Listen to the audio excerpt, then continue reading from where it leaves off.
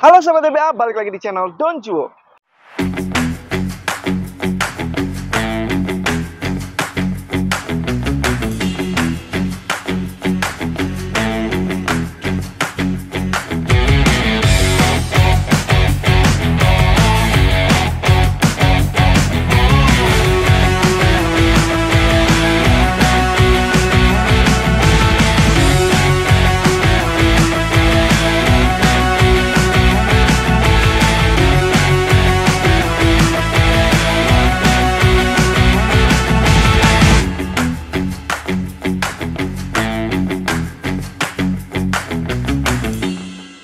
Oke, buat kalian semua, sebelumnya saya mau ucapin terima kasih yang udah ditontonin video kita, di like, di komen, dan juga di share ke teman-teman yang lain. Nah, buat kamu yang belum subscribe, langsung aja di subscribe ya. Diklik lonceng notifikasinya, oke? Di video kali ini kita mau review lagi teman-teman raket. Nih, tangan saya ini warna black, blacknya black banget ya, kombinasi dengan warna merah. Ini adalah raket dari brand Maxbolt seri Woven Tech 90, teman-teman. Ini baru, baru banget keluar ya. Untuk raket harga kisaran 1 juta tapi dia udah package ya 1 juta. Kamu udah dapet raket dan juga tas jinjing dari brand Maxbolt yang cakep banget ya. Kayak gini nih teman-teman nah di tangan saya kali ini udah ada raket Maxbolt Woven Tech 90 di mana saya akan nge-review raket ini teman-teman. Mau kasih lihat ya teman-teman tampilan detail dan juga spesifikasi dari raket ini. Ya kalau saya lihat sekilas ya kalau lihat sekilas ini model-modelnya desain-desainnya mirip sama yang sebelumnya udah pernah saya review ya yaitu JP Power. Ya seperti apa kira-kira uh, tampilan dan juga spesifikasi dari raket yang satu ini? Sebelum kita test drive pastinya langsung aja. Yuk Oke ini dia teman-teman Woven Tech 90 dari brand Maxbolt ya. Hitamnya hitam, hitam kayak jet black gitu jadi benar-benar hitam ya untuk bagian dari warnanya ya. Ini dari end cap-nya ada Maxbolt ya. Kemudian tadi di gripnya ya di gagangnya ada QR yang bisa di scratch ya. Cuman udah saya tutup saya pasangin grip ini ya di kon segitiganya ada logo dragon. Jadi kayaknya konsepnya sama ya. Jadi dragon dragon gitu teman-teman. Maxbolt Korea. Ya jadi ngikut-ngikutin kayak JP Power. Karena yang pertama keluar kan JP Power duluan ya saya ya. Ini ada hologram dari Maxboltnya nah nih.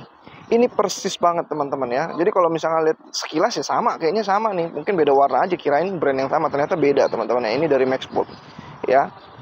Bedanya ada di motif bawahnya sebelah sini ya kalau yang JP kan ada buntutnya gitu. Ini gini aja. Tapi secara ini nih sisik-sisiknya dipegang 3D juga, timbul juga teman-teman. Ya. Kemudian kalau di sini ada awannya.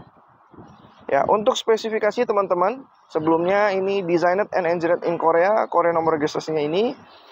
Ya, nih. Spesifikasinya dia 4U even balance, ya, even balance. Jadi untuk permainan kontrol harusnya masuk nih teman-teman ya. Strength tension maksimal 35 lbs. Kemudian untuk tingkat kelenturan dari shaftnya ini medium teman-teman. Jadi dia medium, udah gitu even balance. Jadi harusnya feel swingnya nggak berat, ringan, enak buat kontrol ya teman-teman ya. Tapi tinggal nanti kita tes gimana feel swing pemakaiannya ya. Ini untuk T-joinnya, Maxboardnya warna gold teman-teman. Ya di sini ada kepala naganya, ada badan naganya, sisik-sisiknya lagi teman-teman. Ya,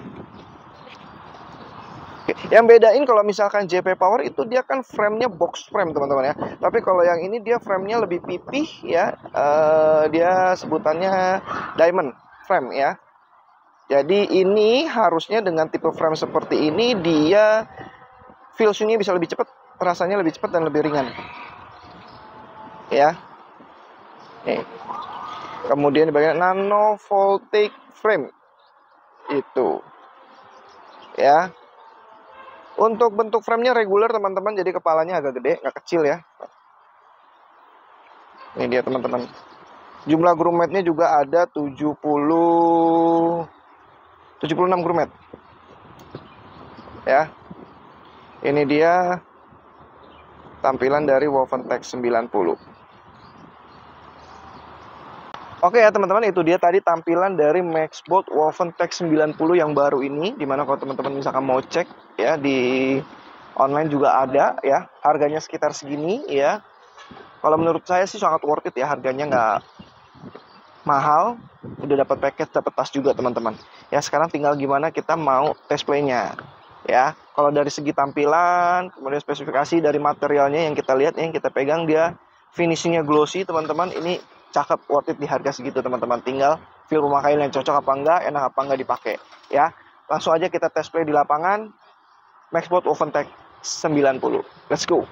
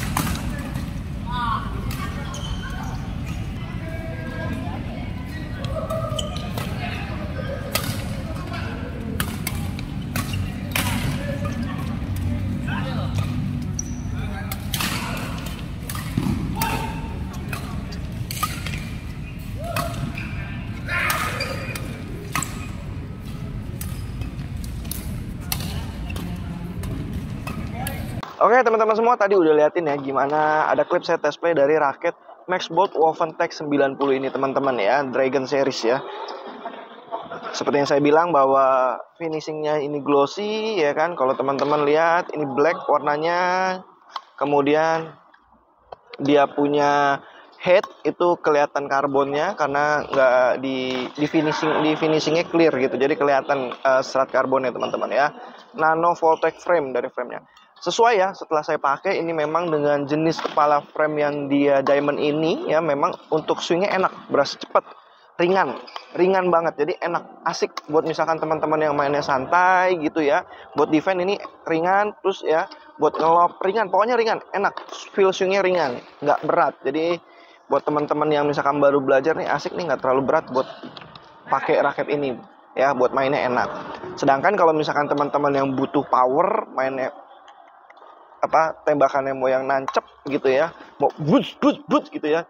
Nah itu ini bobotnya agak kurang teman-teman. Jadi harusnya cari yang versi lebih berat. Mungkin galan seri yang uh, Maxbot Galan Tour yang baru itu itu lebih cocok buat kalau teman-teman misalkan yang suka main gebuk ya mau pukulannya tuh berbobot nancep kalau ini cepat.